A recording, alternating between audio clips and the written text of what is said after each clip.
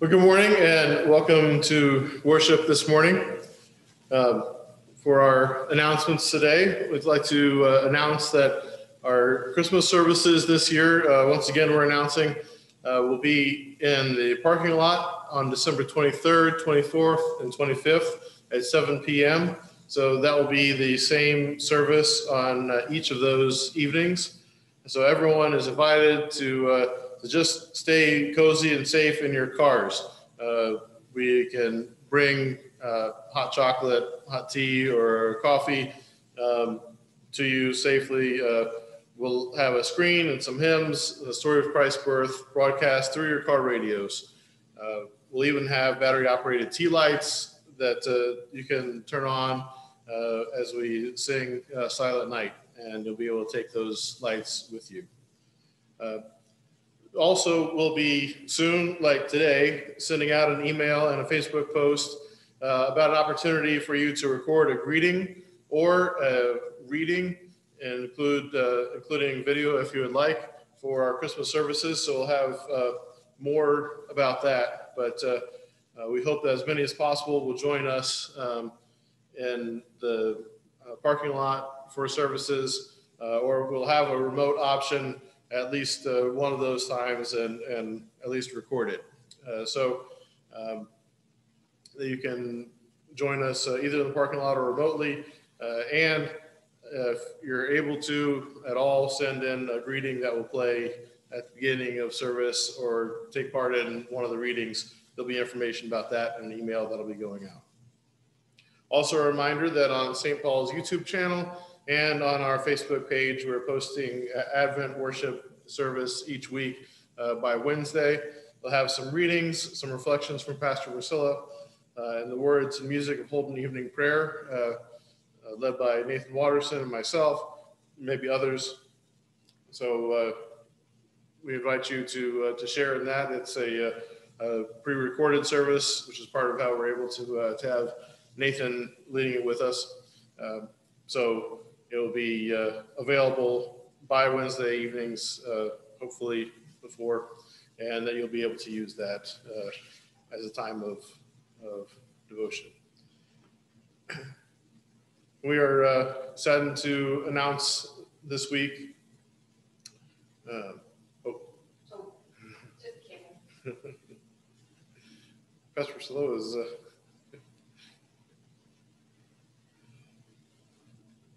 It's my first time running stuff, so There we go. we'll get there. All right, uh, so we're saddened to announce this week uh, the deaths of uh, some folks in our community, uh, Donald Singleton and Pastor Stan Rapp, and so we'll continue to pray for uh, their family and friends.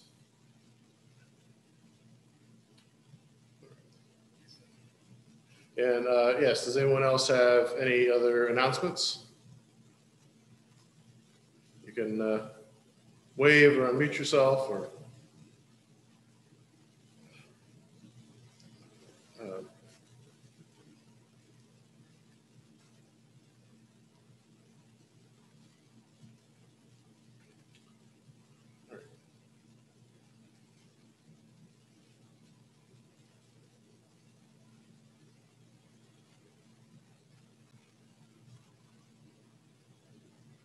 With that, we will uh, begin our worship. Blessed be the Holy Trinity, one God, who comes to wake us from sleep, who leads us into the light of grace. Amen. Let us prepare the way of the Lord by confessing our sin against God and neighbor.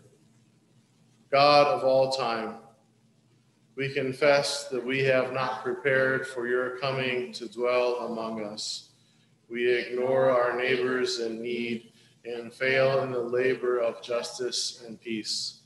In your mercy, forgive us. Grant us wisdom to welcome your light and to seek the things that will endure until Christ comes again in glory. Comfort, O comfort my people, says your God. In Jesus Christ, your sins are forgiven and all things are made new. rejoice in this good news. Amen.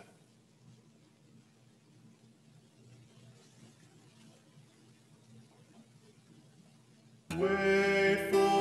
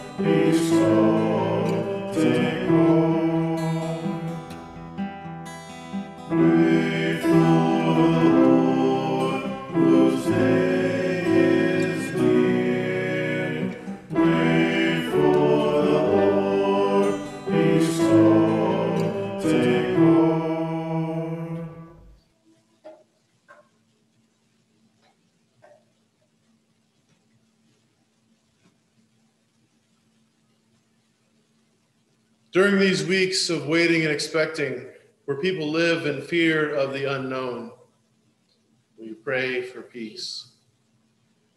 Where people are confused about your will for their lives or for the world, we pray for clarity.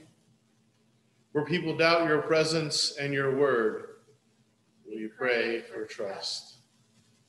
Where people are curious and await the future with hopeful anticipation, we pray for wonder. Most of all, when the world longs for you, we pray you help us respond with glad tidings of comfort and joy. O God, who brings comfort and joy, when our faith wavers and when we question your word, speak to our doubt. Comfort us with your promises and renew our trust in you. Amen.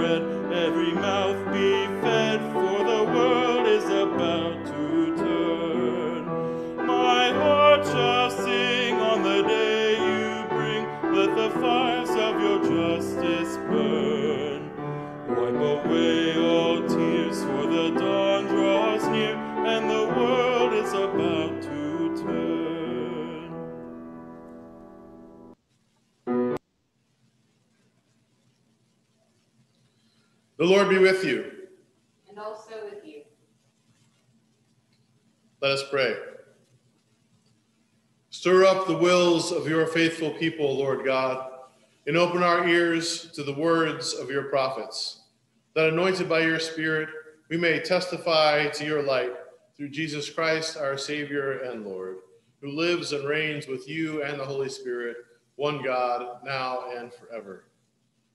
Amen.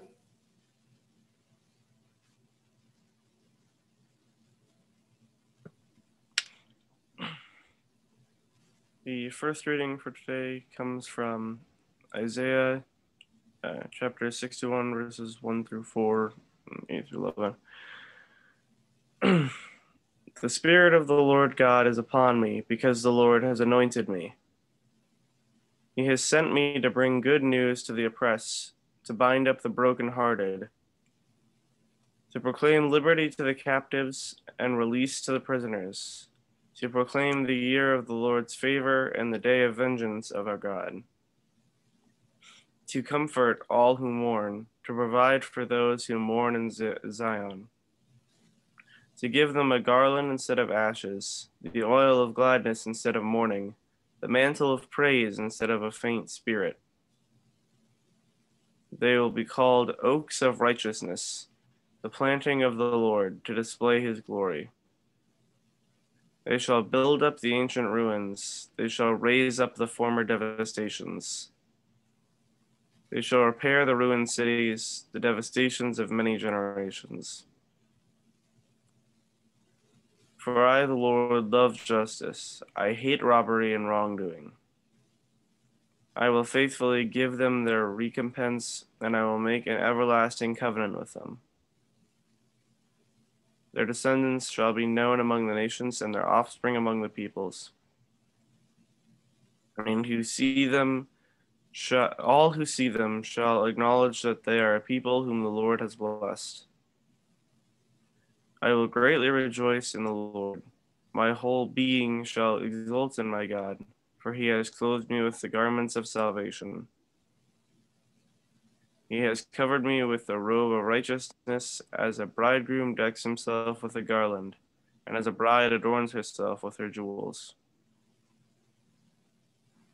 For as the earth brings forth its shoots, and as a garden causes what is sown in it to spring up, so the Lord God will cause righteousness and praise to spring up before all the nations.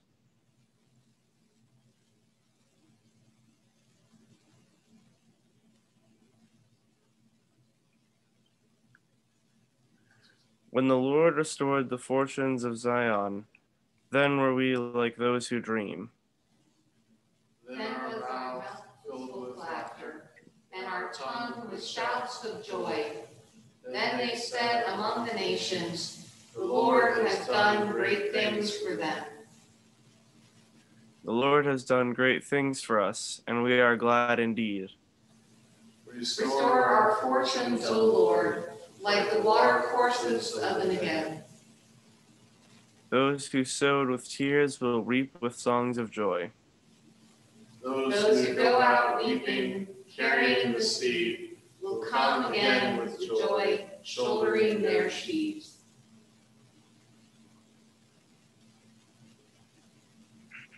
Second reading comes from Luke chapter 1, verses 41 through 55. When Elizabeth heard Mary's greeting, the child leaped in her womb, and Elizabeth was filled with the Holy Spirit and exclaimed with a loud cry, Blessed are you among women, and blessed is the fruit of your womb. And why has this happened to me, that the mother of my, of my Lord comes to me? For as soon as I heard the sound of your greeting, the child in my womb leaped for joy and blessed as blessed is she who believed that there would be a, a, fulfillment of what was spoken to her by the Lord. And Mary said, My soul magnifies the Lord, and my spirit rejoices in God my Savior, for he has looked with favor on the lowliness of his servant. Surely from now on all generations will call me blessed, for the mighty one has done great things for me, and holy is his name. His mercy is for those who fear him from generation to generation. He has shown strength with his arm. He has scattered the proud in the thoughts of their hearts.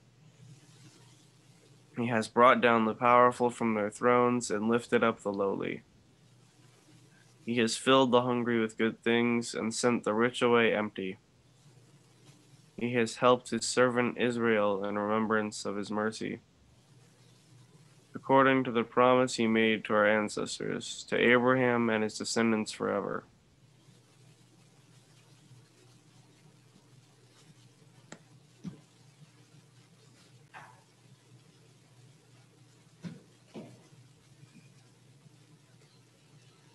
Well, good morning. Uh,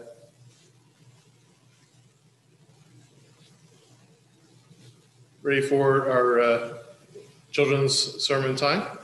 Um, so I have here a mirror, and actually, um, I may not even need Pastor Priscilla with a flashlight, uh, but you can see uh, that uh, this mirror I can use to signal to um, to get someone's attention.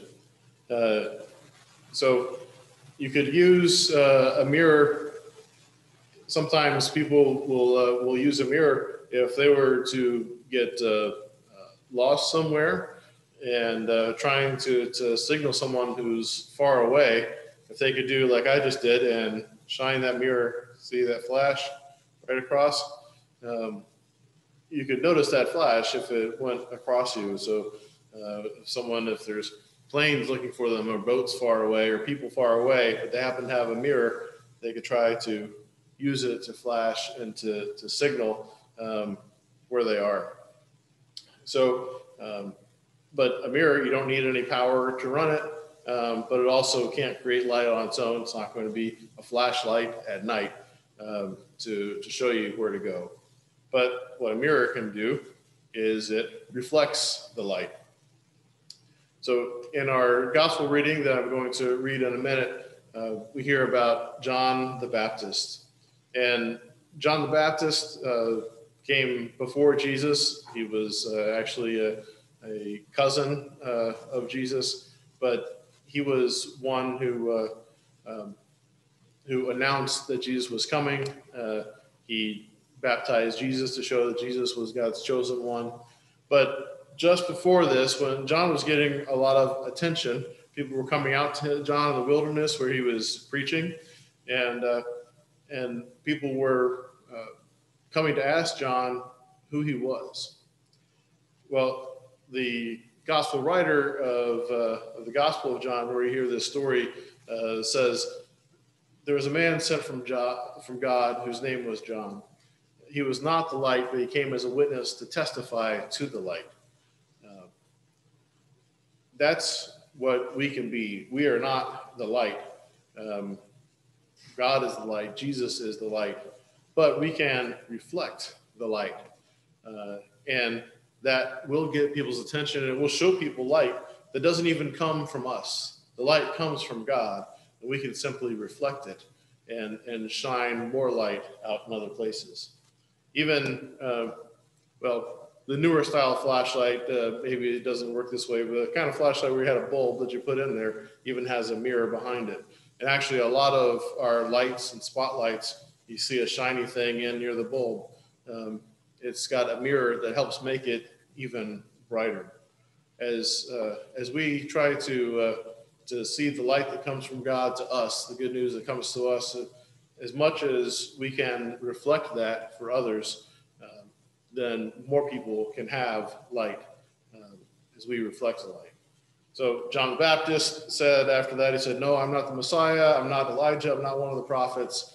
I'm just a voice crying out in the wilderness. But he was one who reflected the light of God so that more people could see it.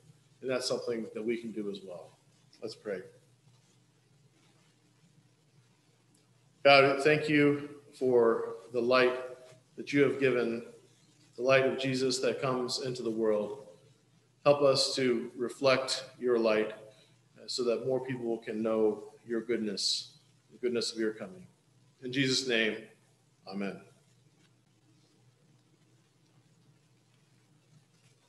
The Holy Gospel according to John, the first chapter. Glory to you, O Lord. There was a man sent from God whose name was John. He came as a witness to testify to the light, so that all might believe through him. He himself was not the light, but he came to testify to the light. This is the testimony given by John when the Jews sent priests and Levites from Jerusalem to ask him, Who are you? He confessed and did not deny it, but confessed, I am not the Messiah. And they asked him, What then? Are you Elijah? He said, I am not. Are you the prophet? He answered, No. Then they said to him, Who are you? Let us have an answer for those who sent us. What do you say about yourself? He said, I'm the voice of one crying out in the wilderness, Make straight the way of the Lord, as the prophet Isaiah said. now they had been sent from the Pharisees. They asked him, Why then are you baptizing if you are neither the Messiah, nor Elijah, nor the prophet? John answered them, I baptize you with water. Among you stands one whom you do not know, the one who is coming after me. I am not worthy to untie the thong of his sandal. This took place in Bethany across the Jordan, where John was baptizing. This is the gospel of the Lord. Praise, Praise to you, O Christ.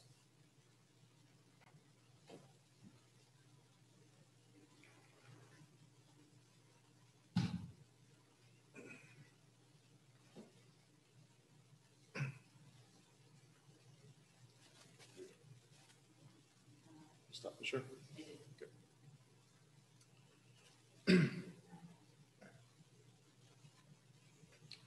He's real.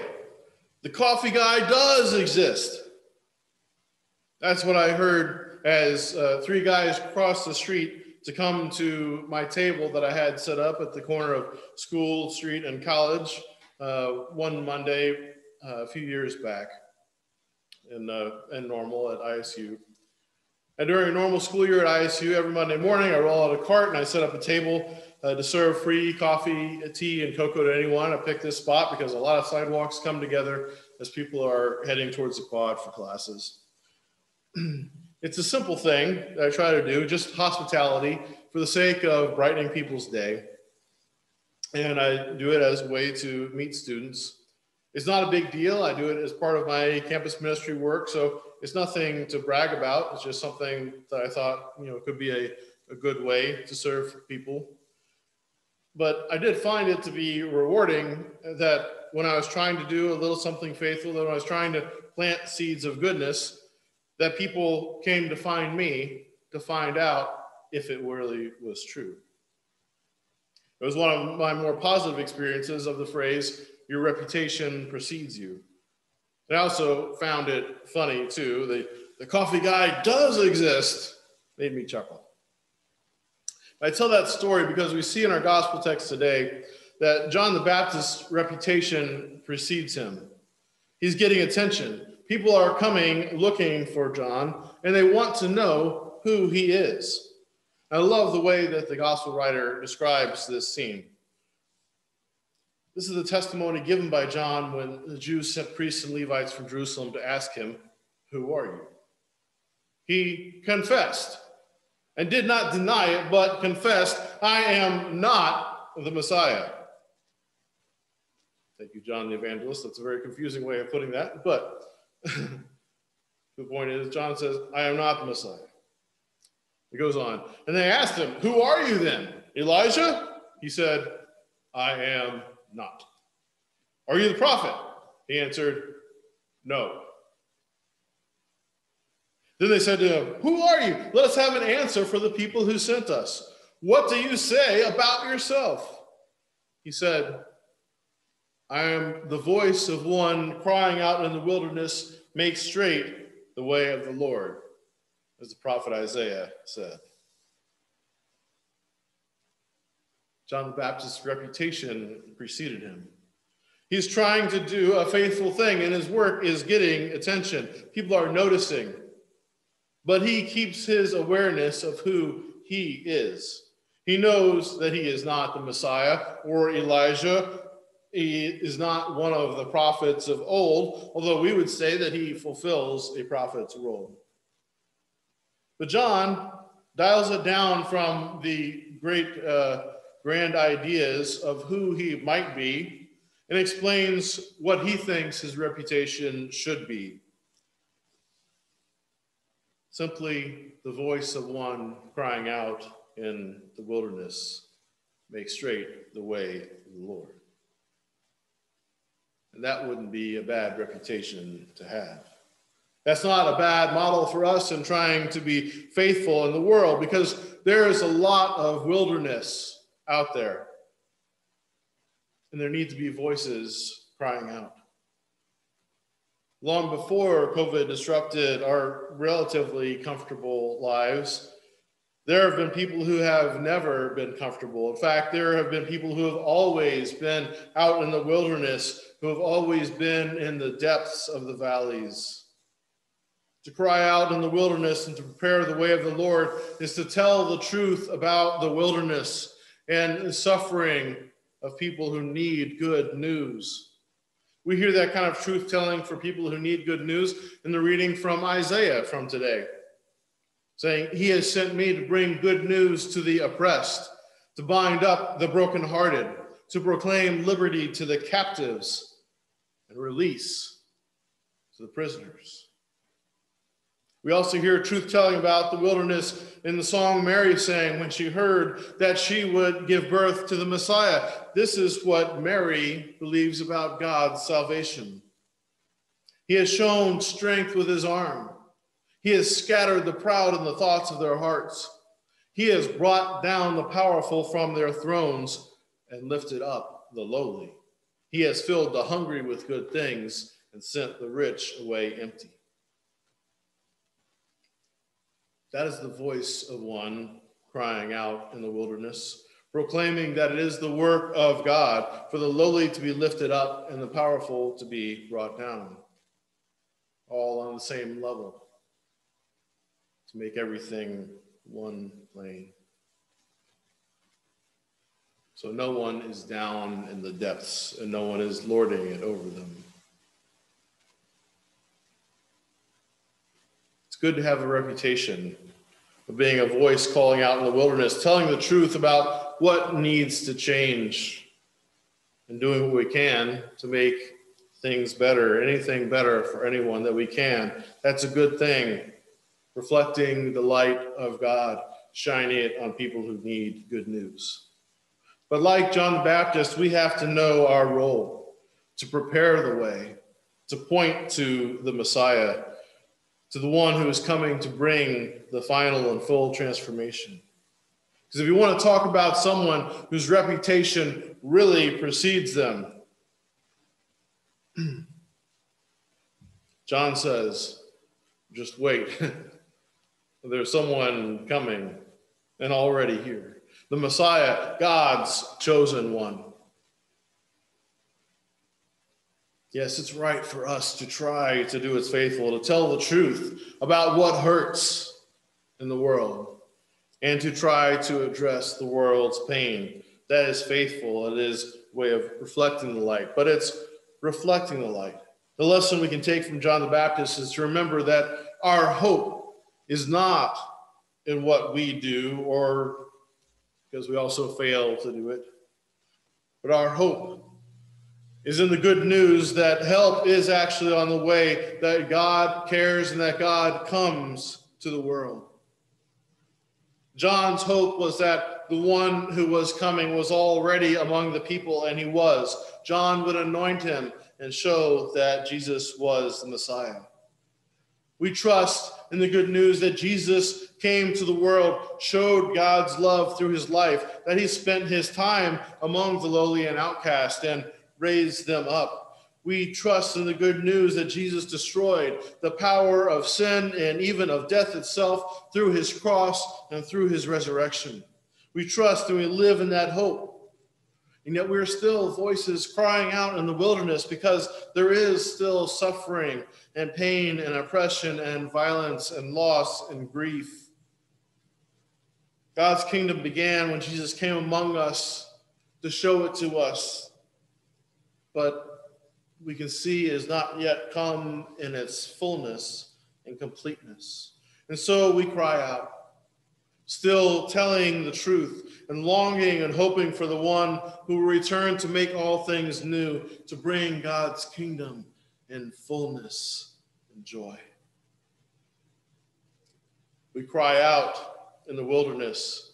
We can do that with confident hope that Jesus is the one who comes to us and his reputation precedes him.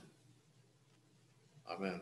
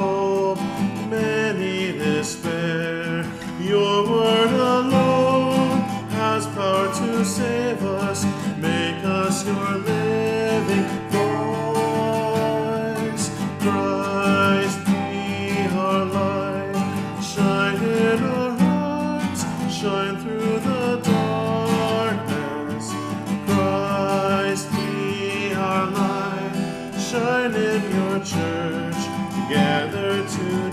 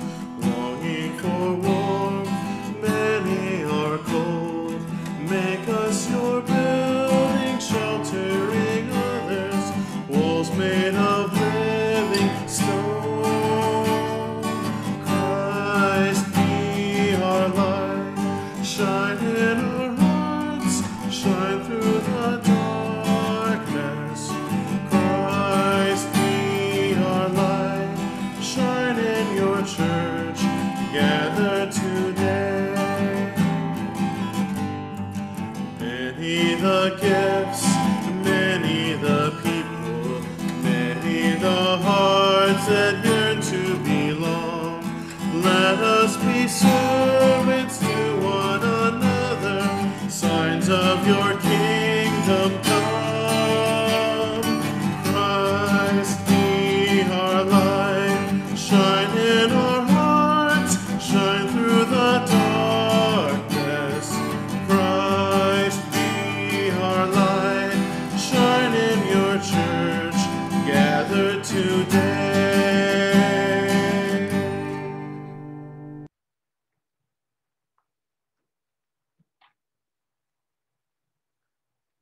Let's confess our faith in the words of the Apostles' Creed.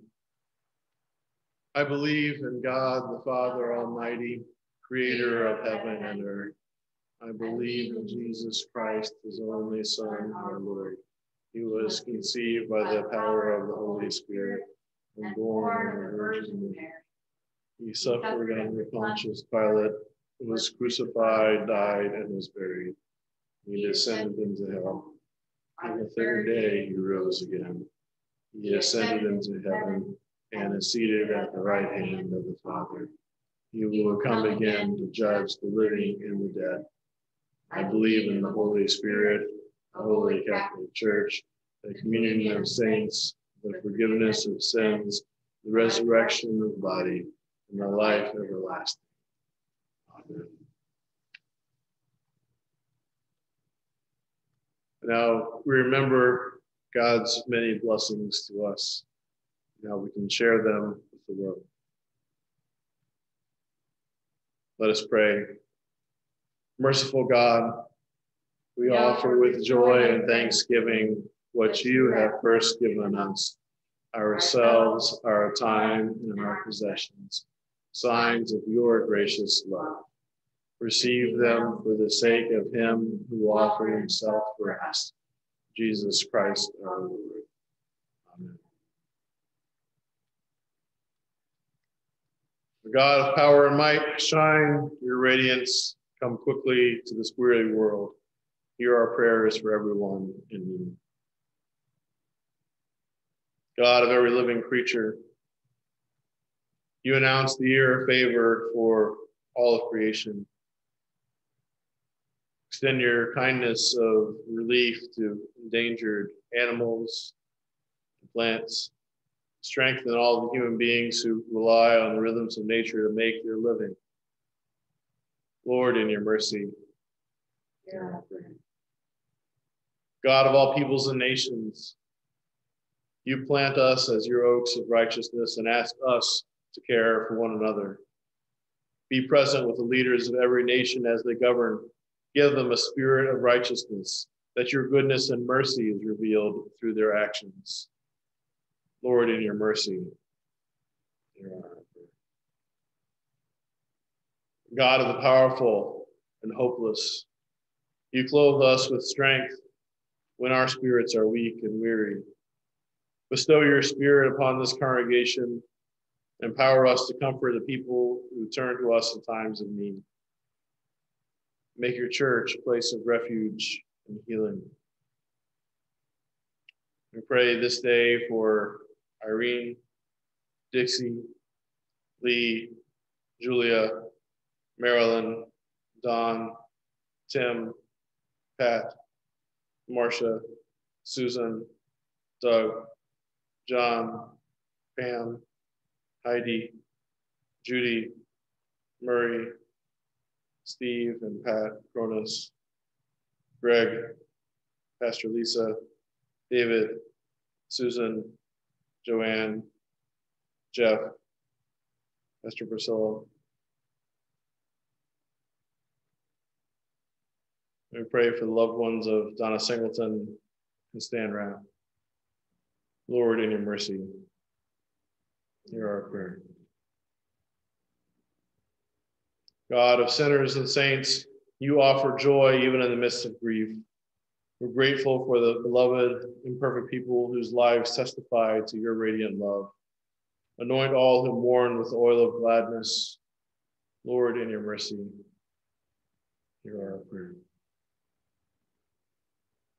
Draw near to us, O God, and receive our prayers for the sake of your Son, Jesus Christ our Lord. Amen. Lord, remember us in your kingdom and teach us to pray. Our Father, who art in heaven, hallowed be thy name. Thy kingdom come, thy will be done on earth as it is in heaven.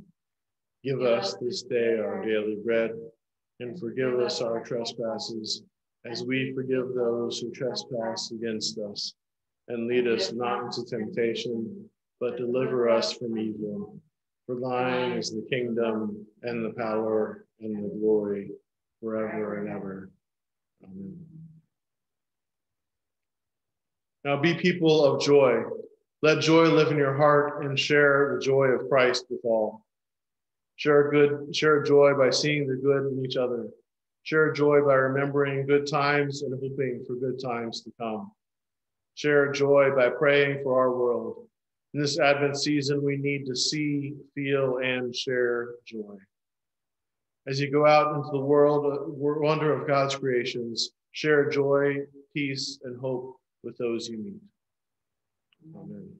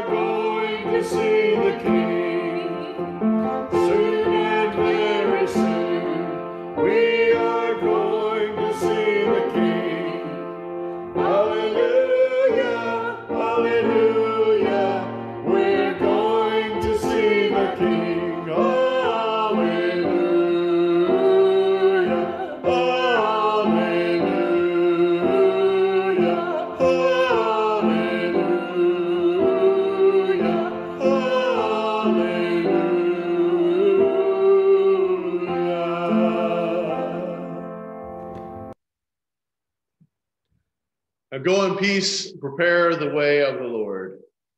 Thanks be to God.